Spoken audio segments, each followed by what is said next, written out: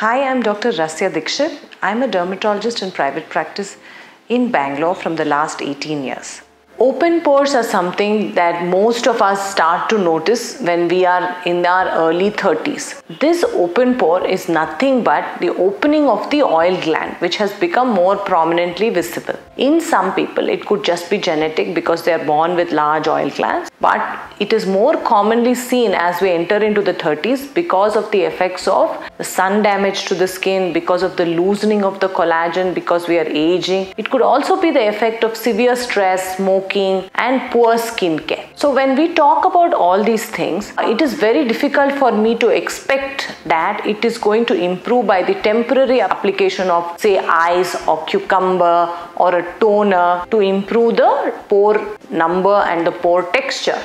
Application of these products like a cucumber juice or an ice cube is maybe going to improve it temporarily for maybe about 5 to 10 minutes.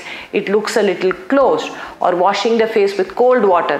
This is not going to improve it because the pore is just the opening of the gland. It's not going to improve what you need to do is to improve the collagen and texture of the skin. Use your sunscreen regularly.